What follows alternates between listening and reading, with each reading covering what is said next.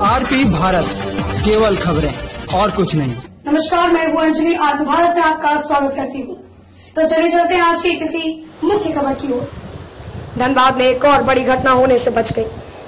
Hill top outsourcing के प्रबंधक के भाई राजेश यादव को जेएमएम युवा मोर्चा के अध्यक्ष सूरज चौहान पर फायरिंग करने का आरोप लगा गए हालाँकि इस घटना में राजेश कुमार यादव बाल बाल बच गए।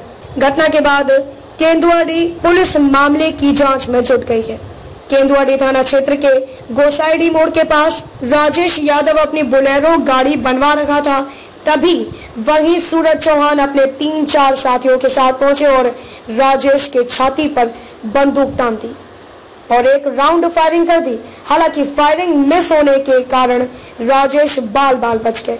इसके बाद फिर से दोनों के बीच हाथापाई होने लगी, जिसमें सूरज ने फिर फायरिंग कर दी, जो फिर से मिस हो गई, जिसमें राजेश बच गए और अपराधी वहाँ से भागने में कामयाब हो गए।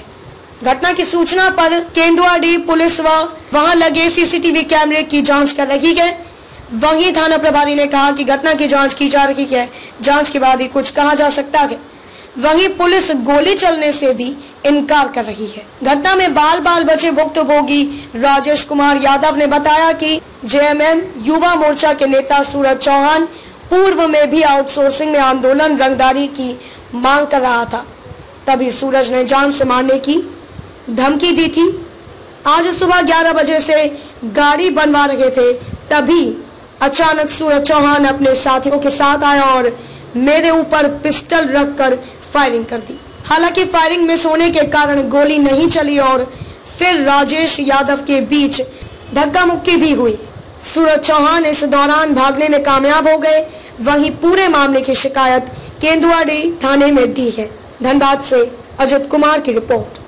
कर रहे थे बस मैंने दुकान में घुस गया वो क्या सेल बनाने आए थे आपके? हाँ। फिर क्या देखे अब क्या हुआ था तो हल्ला हो रहा था उसका हो रहा था कौन थे? उसको चिन रहे हैं उसको नहीं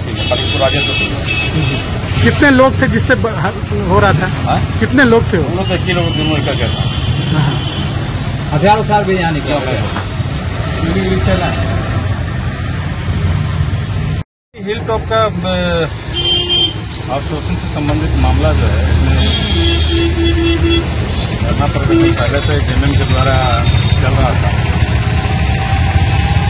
विवाद को लेकर के बातें सामने आ रही हैं। हम लोग जाँच कर रहे हैं उसके बाद ही स्पष्ट पाएँगे भुक्तभोगी बोले कि दो राउंड गोली चलाए दोनों मिक्स हो गया है। अभी फ़िलहाल क्या कंडीशन है? क्या देखे अभी सीसीटीवी कैमरा में क्या निकला गोली चलने की जहाँ तक बात है तो अभी तक स्पष्ट नहीं हो पाया है। और अगल बगल के सारे लोगों का कहना है कि इस तरह का कोई भी घटना घटित नहीं हुई है। और न ही कोई खोखा या किसी तरह कोई बात सामने आई है। क्या घटना हुई है? हम अभी एक घंटा पहले लगभग टाइम क्या था? मतलब वही ग्यारह बज रहा था। हम सरफू मिस्त्री के गैरेज में जाके अपना गाड़ी बोलेरो का सेल्फ का काम करवाने के लिए गए थे। मेरे ड्राइवर भी था, हम भी थे, हम मोटरसाइकिल से गए थे। हम उसको बोले, तुम बढ़ो हम आ रहे हैं। हम गए, जा करके सरफू को बोले, जा सेल्फ खोलो।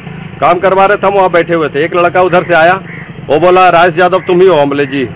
उसके बाद में हमको थोड़ा सा एक्टिविटी लगा कि यहाँ पर कुछ है। तो हम वहाँ मोटरसाइकिल घुमा के निकल तब तक सूरज चौहान आया और छाती में सटा के गोली फायर किया। लेकिन फायर मिस होने के कारण हम बचे। फिर हम उसको ठेल करके सरफू का गैरेज में घुसे। गैरेज में घुसने के बाद हम केवाड़ी लगाए हैं। उसका जो दरवाज़ा था उसको हम लगाए लकड़ी का दरवाज़ा था उसको हम लगाए। उसके बाद बीच बचाव आदमी बहुत लोग जुटा।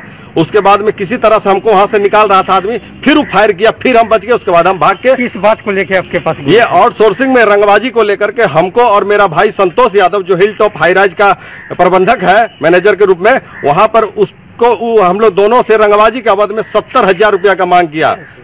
बोला अगर पैसा नहीं दोगे तो तुम लोग को तो मारेंगे पाँच दिन के अंदर टारगेट दिया कि पाँच दिन में गोली मार देंगे।